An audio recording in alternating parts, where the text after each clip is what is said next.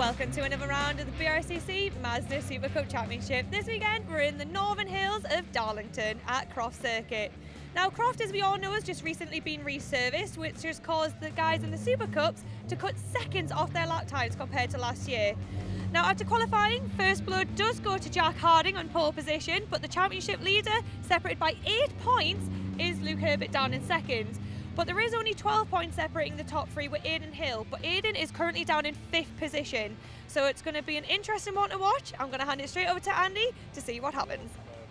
Thanks, Lindsay. Well, here's how the grid lines up in full then. Harding and Herbert row one with Steve Roberts and Patrick Fletcher, his best qualifying result of the season, in fourth. Aidan Hill's down in fifth, as you said, with Jack Sycamore, then Will Stevenson and Gary Townsend on row four. Osnick Rutter and Ray Worley making a welcome return, round out the top 10. Then it's David Henderson, Bradley Kent, George Grant and Chris Richardson at the back of the field.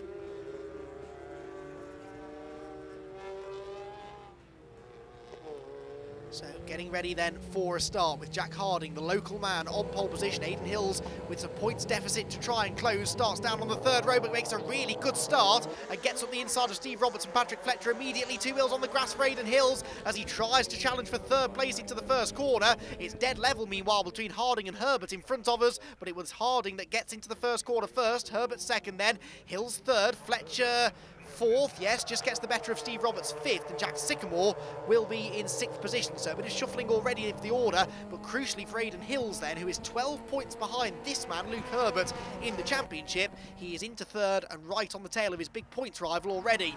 Luke Herbert, though, not content with second, is already challenging for the race lead. Goes to the outside, down to Tower Corner, but then Aidan Hills is there already, looking to the inside. Can't get through, but that's the problem for uh, Herbert goes for the lead, he could lose second place because Aidan Hills will be right there, snapping at his heels all race long to try and find a way through. Sometimes not the easiest of circuits to overtake at Croft, so they know that in the early stages that's your best chance to try and find a way through, and that's what Herbert's trying to do. Look, all over Jack Harding, goes to the outside into Sunny really going to go right round the outside there, but he tries to cut back to the late apex, almost gets to the inside of the second part of the Sunny complex, but that little bit of battling they did there, just through two corners, has allowed Hills to close back in. Aiden had dropped back slightly through the previous couple of corners. He's right back with them again now as they go into the complex at the end of the opening lap.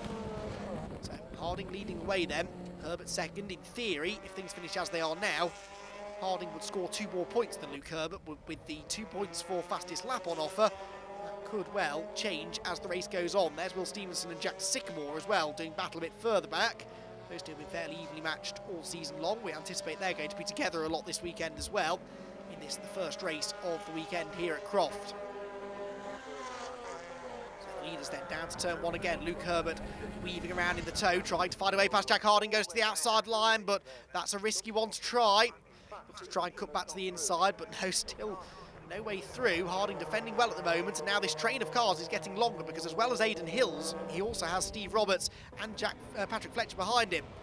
Herbert to the outside of uh, Harding here into Sunny, and that leaves the door open for Aidan Hills, and Hills is through. Aidan Hills into second position, needed no second invitation, Steve Roberts might buy into all of this as well. He gets alongside Luke Herbert coming through the uh, second part of Sunny. And Luke Herbert now will, he's on the inside line for the next quarter, but Steve Roberts went back out of this one without a fight. In the end, though, I think, yes, that uh, Luke Herbert will fend him off. And then there's a lockup from Roberts. He runs out wide. And Patrick Fletcher, looking for his first podium of the year. Well, he's now one position away from it. He's into fourth. Roberts locks up again. Needs to be careful not to flat spot those tyres. Patrick Fletcher, who has a best finish so far this year of sixth position, is that right? Yeah, two sixth positions he's had early on in the year. Not yet had a top uh, five. He's into fourth position now, so this would be his best finish of the year. To the final lap then, on board with Luke Herbert in third place. Aidan Hills in front of us, and we're looking to the inside into Clervaux corner. But Hills will get into the corner first with Fletcher and Roberts still right behind, but this is maybe going to allow Jack Harding now to pull away slightly out in front. But Luke Herbert has set the fastest lap in this race, by the way, a lap or two ago. So Herbert, if he hangs on to third position will at least score 98 points, so that's the same amount of points as if he finished second. So Harding will only take two of those eight points away from him in the championship. So it will be a six-point margin between Herbert and Harding going into the second race of the weekend, whilst Aidan Hills will actually not take any points out of Herbert because he's only one position in front of him. Through the S's, back to Barcroft and oh, Herbert trying to get alongside here. This is the place where Hills got past him earlier on, but Aiden, we know, is brave on the brakes and gets the car stopped as well, so he will hold on to the position, get sideways again, though, through Sunny. And then back towards the S's once again. Herbert oh, weaving around this way and that, can't get through.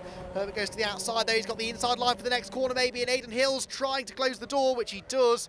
Herbert can't afford any contact, can't afford a disqualification because that will no doubt end his championship hopes immediately. Through the final corner then, Jack Harding on his way to career win at number 18 and crucially his fourth of the season. He has won more races now than anybody else this year and at his home track he wins race one. Second place goes to Aiden Hills, third is Luke Herbert with Patrick Fletcher and Steve Roberts rounding out the top five. Brilliant racing there between all of them uh, that result shakes up the championship slightly. There's confirmation of it. Will Stevenson was just outside the top five in sixth. Then Jack Sycamore, Gary Townsend, David Henderson and Nick Rutter to round out the top 10 ahead of Bradley Kent, George Grant, Ray Worley and Chris Richardson in 14th.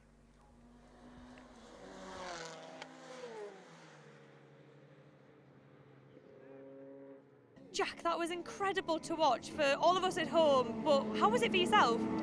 Yeah, it was really nice to qualify pole. Um, but a lots happened between qualifying and now. Um, won't really get into it too much, but it's been a bit of a difficult day.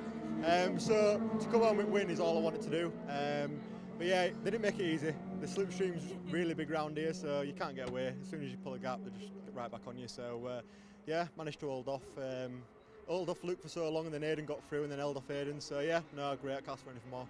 Aiden, you managed to get ahead of Luke, and I think you would have had Jack if you had a few more laps in you there. Uh, yeah, it was a good race. Obviously, starting from fifth wasn't ideal, but got a good start, going to third straight away. Um, and then, yeah, it was hard to attack Luke straight away because I had St Steve and Pat, Pat behind me. So I just, yeah, just waiting, waiting to get a little gap to Steve. And then, yeah, when Luke, Luke went wide round Sunny, I managed to nip up the inside. And then I had a couple of opportunities at Jack, but I didn't want to lose second to Luke. So I, I was not, I wouldn't say happy with sitting in second, but I wasn't too keen on having to overtake him and, and drop him back. So yeah, it was a good race. Race two is about to get underway here for the Mazda Super Cup and the drivers are about to get ready in the car. So very quickly, I just want to catch you at Aiden Hills, who I was chatting to this morning. Now, Aiden, I was chatting to you this morning. You were saying that you're quite laid back coming into these races. How do you do that? Um, yeah, I just like to stay chilled. You know, we're, we're all here to have fun, so we're racing. It's better than being at work at the end of the day. So there's no point getting too uptight about. It. Obviously, I get nervous when I'm in the car and stuff, but yeah, I'm just here to have fun. And anything else, you know, being on the podium's a bonus, and winning a race is even better. Well then, cars gridding up ahead of our second race of the weekend. The grid based on the result from the first one, so it's Harding and Hills from Herbert and Fletcher, with Steve Roberts and Will Stevenson the front three rows, then Jack Sycamore and Gary Townsend. David Henderson and Nick Rutter make up the fifth row of the grid ahead of Bradley Kent, George Grant, Ray Worley and Chris Richardson right at the back.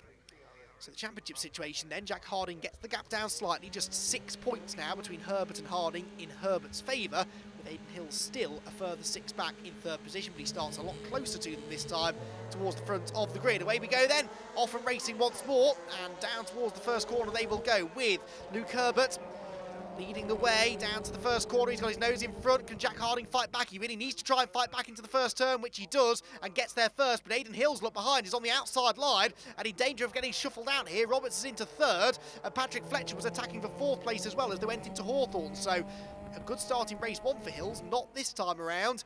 And Aiden Hills finds himself unfortunately a bit further away from his big championship rivals than he would like. Back with Luke Herbert then as he attacks for the race lead into Tower Corner for the first time of asking. Round the outside he goes, behind Aiden Hills, he's down to fourth place, but already trying to do something about that. Attacking Steve Roberts for third as they turn through the right-hander. Oh, Harding and Herbert touch, and Herbert's on the grass, and this could cost him all sorts of momentum. Steve Roberts gets alongside him, he will go into second position, and where's Aiden Hills? Surely he's not far away, no, there he is. Forces his way up the inside, Luke Herbert off the road, and he could find himself off the podium positions as well. Aiden Hills has gone through. Luke Herbert, though, fights straight back up the inside into Sunny, the corner at which Aiden Hills mugged him in the previous race. And Luke Herbert says, I've learnt from you. I know how it's done. And he shows him how it's done. Back up the inside and back into third place for Luke Herbert. Fabulous stuff. Down the straight they go then. Aiden Hills briefly was onto the podium. He's back down to fourth position again now, but at least the uh, championship leader is a little bit closer to him. And actually, as things stand now, this is working out particularly well for Jack Harding, who is down to take four points at the moment out of Luke Herbert. But there's a long way to go, and we know that Luke is good at getting these fastest lap points, which are pivotal, really, when the championship situation is this close. Back across the line then. End of lap one, Jack Harding leading the way, but Steve Roberts trying his best to go with him. Steve is still looking for his first victory of the year, remember having come close a couple of times this year, but it's been a trying season at times as well for Steve, He would love to get himself a trio of podiums here, maybe. Well, maybe not podiums, he was fifth in race one, but maybe a couple of podiums, maybe even a race win in amongst them would go down nicely. He's in second place at the moment, so things are going well. In Hills, not so well for him though. Fourth place as we ride on board with the Hills Motorsport, the privately run car Down into the braking zone at Tower Car squirm around there in what is still quite a bumpy braking zone. They may have resurfaced this place, but it's not lost any of its character. It's still quite bumpy. It's still got uh, a few off-camber corners, all of which add to the unique challenge of what is a tight and technical circuit, but then it opens out into this very high-speed second half through the S's and Barcroft and into Sunny, where Luke Herbert tries to get up the inside of Steve Roberts, but Steve Roberts was telling me before the race that that's the part of the circuit at which he is the most confident through Sunny in and out, and he showed that confidence there. Late on the brakes, carried good mid-corner speed and fended off Luke Herbert, who will not want to take too many risks here. Third place is better than nothing, but he will be very conscious of the fact that Harding is only six points behind him now and is two places ahead of him in the race. Into the hairpin attempting to go up the inside there, and Herbert shows his nose, just trying to distract Steve Roberts, really, more than actually pounce on that occasion. But look, Aidan Hills is right back with them, and uh, Patrick Fletcher not far behind in fifth place either. So this race is building nicely as we head into the middle portion. Join us after the break to see what happens next.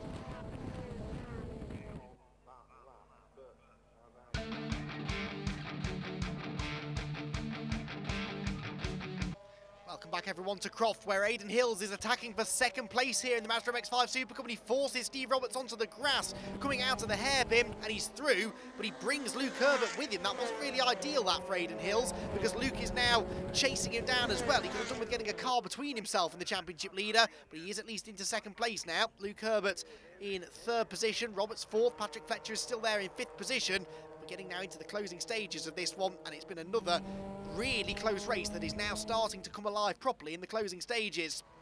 Aidan Hills then defending into tower from Luke Herbert, who gets himself alongside on the exit, does he? He's quicker on the tighter line, and they're going to rub if they're not too careful. Herbert with two wheels on the grass. Oh, there is a bit of contact going into the Jim Clark S's, and Herbert is alongside now. Round the outside, more contact at one of the fastest parts of the circuit, and Luke Herbert is not backing out of these fights when he really doesn't want to be getting too physical. Leans on Aiden Hills again going through Barcroft. Hills will uh, now have to try and turn his attention to keep Steve Roberts behind, which he does, I think. But uh, that was uh, Luke Herbert forcing his way through. Meanwhile, Jack Sycamore and Will Stevenson are scrapping hard behind.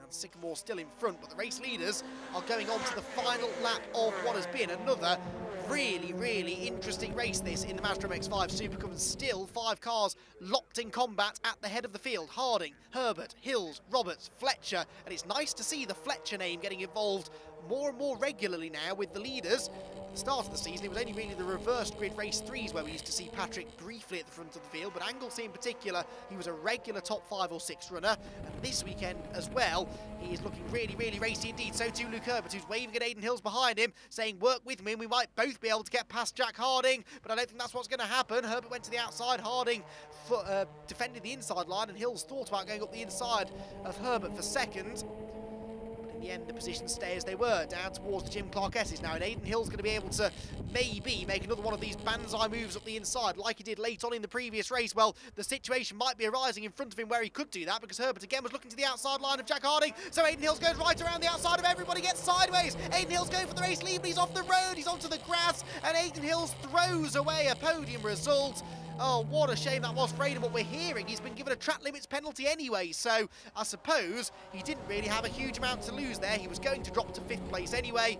The only difference is he's done it now without the assistance of a penalty. Full credit for trying, though. Harding then leading the way Herbert's second place as they go into the final corner for the final time. Can Luke Herbert do it? I don't think he can. Jack Harding's not going to make a mistake now, surely. And for the second time this weekend, the AK Automotive car is going to win and become the first double winner this year. Two wins from two at Croft for Jack Harding. He wins the second race here in the Northeast. Second place goes the way of Luke Herbert, third for Steve Roberts, and fourth for Patrick Fletcher, despite a five second penalty going his way as well. Aidan Hills and Will Stevenson both received five second uh, track limit penalties too, with Gary Townsend, David Henderson, Nick Rutter, and Bradley Kent rounding out the top 10. Then Ray Worley, George Grant, and Chris Richardson, with Jack Sycamore sadly retiring on the very last corner.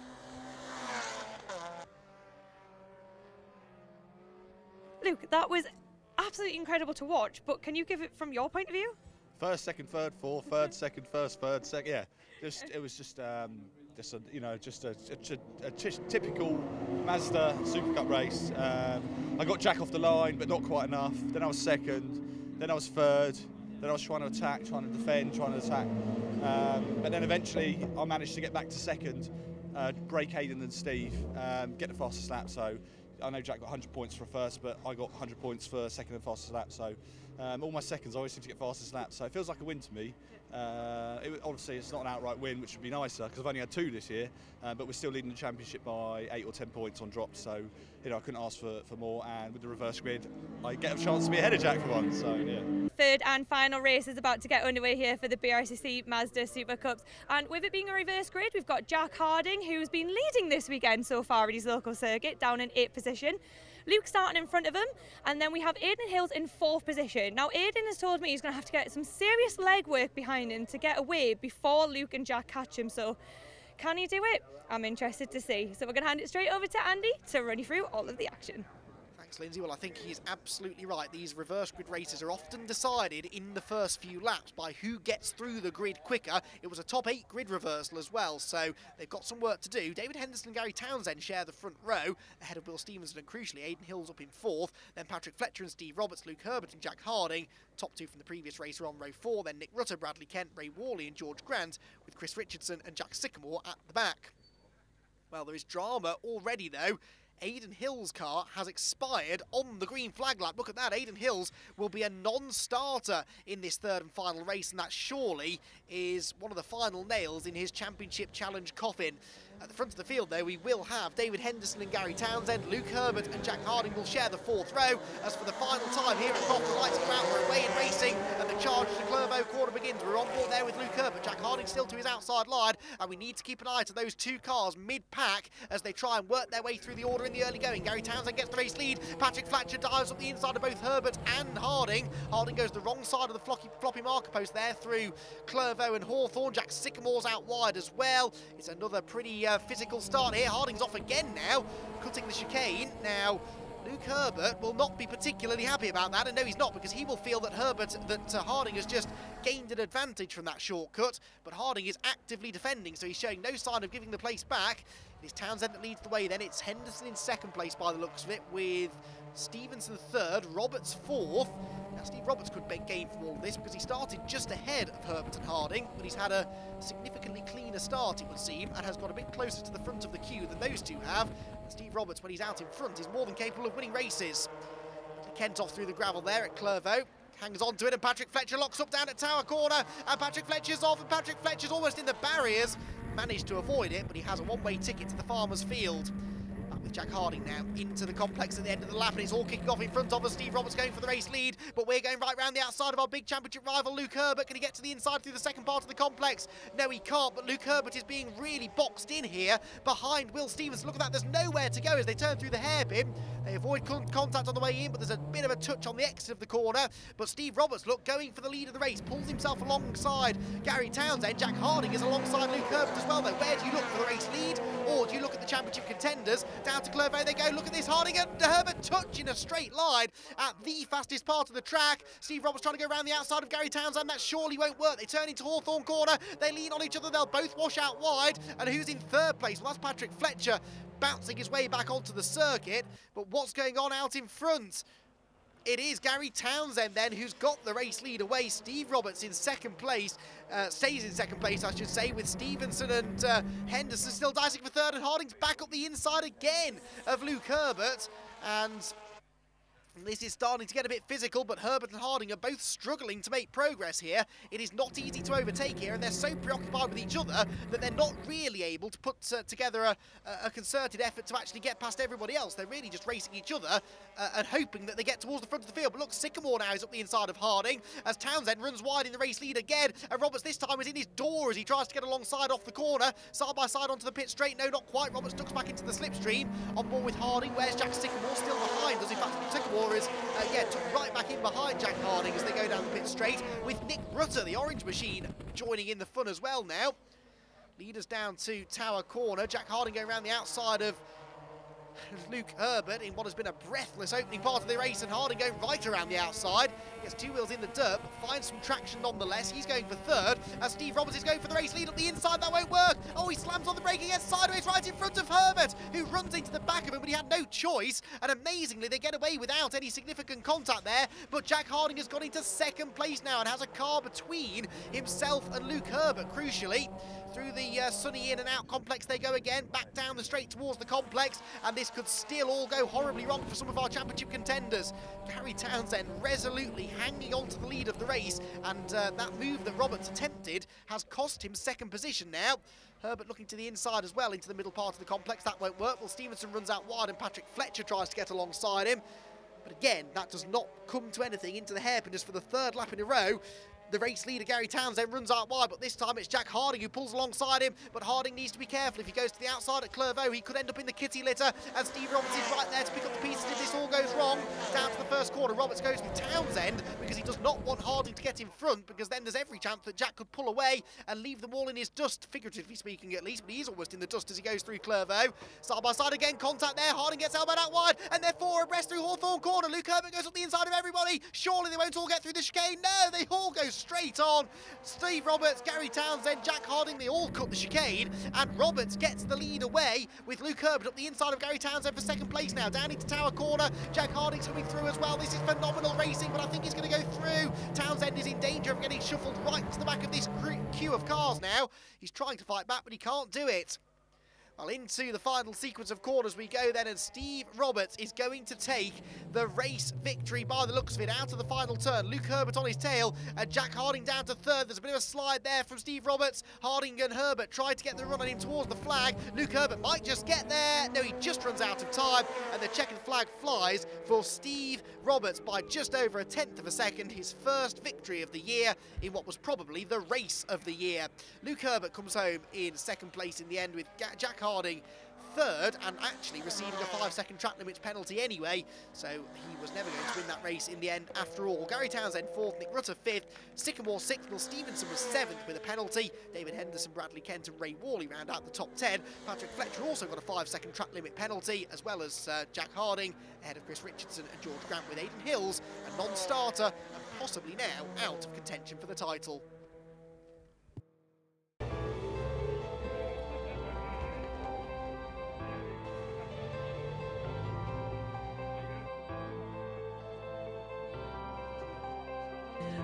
Bless you. You look like you put everything into that race. I did. I've been searching for a win for a while, uh, since Donington last year. So, yeah, pleased to get that one. By all means, you had everyone in the grandstands on their toes. Every time you guys are coming around, we didn't know who was going to be leading the pack, but you seem to have snuck in there and held your position. Yeah, well, I had a great start, and I kind of had the race won if I just kept my head. But I was, I was very keen to get in front, should we say, and, and then Jack and uh, Luke came back through, and then it didn't feel like a reverse race, reverse grid race after that. You know, it was it was difficult, but RBR gave me a great car, and we had we had serious pace. That's why I've been so frustrated all weekends. I thought, I can just get out and clear out. I think I can at least keep the lead and gap them, and I didn't quite do that. But I think, you know, Luke was more worried about Jack, but. I had good pace, and I don't think I was holding anyone up, and I was dragging them along. So uh, no, I felt like it was a good win.